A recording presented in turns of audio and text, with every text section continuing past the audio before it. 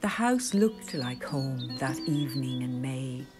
Honeysuckle entwined in hazel, oak breaking into leaf, the kitchen warmed by a stove, windows facing the hills.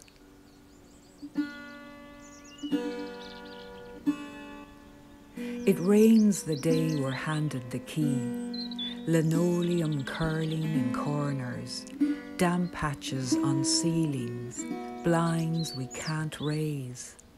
A marble rolls in an empty drawer. Heads down, eyes not meeting, we sweep and scrub. We turn up the radio, unpack boxes, place our books on shelves.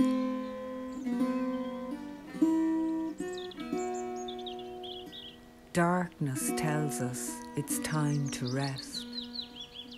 Lifting the bedside lamp from the car, we hear the Avonbeg at the end of the road, smell hay in our neighbour's field. A horse whinnies, Venus unlocks the sky.